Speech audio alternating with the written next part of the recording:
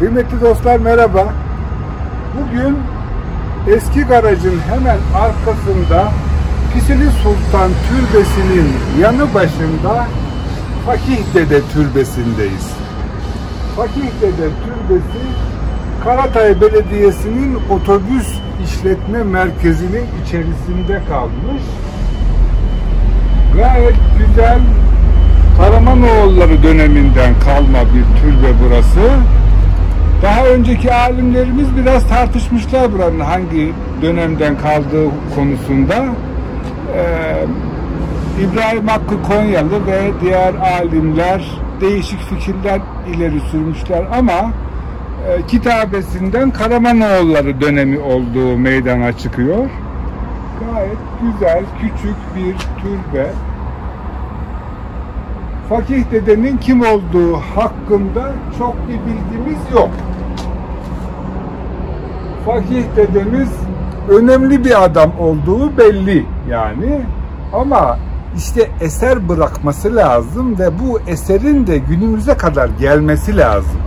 Yani adamın eser yazması da yetmiyor. O eserin 800 sene boyunca korunup günümüze kadar gelip bizim de onu okuyup onun hayatını ve düşüncelerini öğrenmemiz lazım. Başka türlü hakkında bir şey söylemek çok kolay değil. Ama türbenin kapısının üzerinde Arapça bir e, kitabe var. Bu kitabenin biraz baş tarafından biraz da son tarafından okumak istiyorum. En üst satırda Haza Türbetü yazıyor. Şimdi bu türbe diyor. Ondan sonra Eşşeyh demiş hemen ikinci satırda.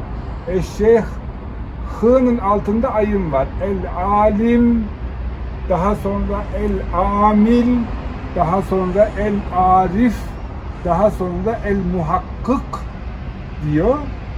Muhakkıkın hemen üstünde bir dekayık demiş. Bir dekayıkın ikinci satır, üçüncü satıra geçtik. Avarif vel mearif el müteveccih diye devam ediyor. Burada önemli bir arif olduğunu anlıyoruz Fakih dedemizin. Şimdi bir de tarih kısmını okuyalım. Kadim derece diye başlıyor burada tarih kısmı. Diyor ki fi evasiti şehri fi evasiti şehri rebi'il evvel Rebi'ül evvel ayının ortalarında burası yapılmış. Hangi sene? Sene diyor şurada. Fi sene Sittin var ortada. Semanniye de aşağıda.